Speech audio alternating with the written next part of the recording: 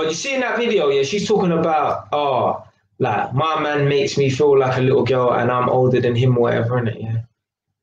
Right, actually, I was gonna say all women want to feel like that. No, there are some women, right, who are hell bent on being the fucking man in the relationship. Yeah, you see women like that, get the fuck away from them. They're no, they're just too much of a headache, man.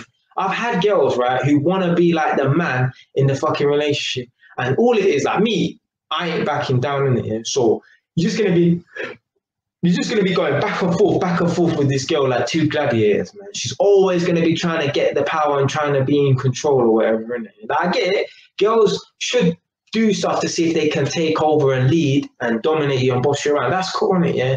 But there's certain girls, that's their mission. That's their sole mission to take over the relationship. Yeah? That's their sole mission to take over the relationship. Yeah? Girls like that, just get rid of them, man. And they come in all shapes, shapes and sizes as well? Yeah?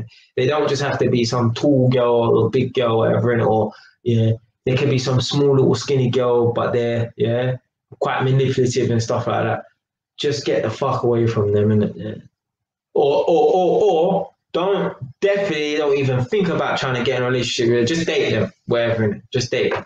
Yeah, that's it. Don't get in no situation like that. Woman like that, she's always going, always going to be trying to fight you and try and, um, yeah, exactly. Yeah. Listening to too much Beyonce and, um, not just Beyonce, but like Destiny Child and that.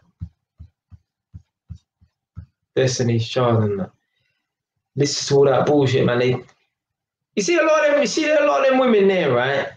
They program girls, yeah, to want to be like these feminists as well, you know, try and be that man in relationship and that.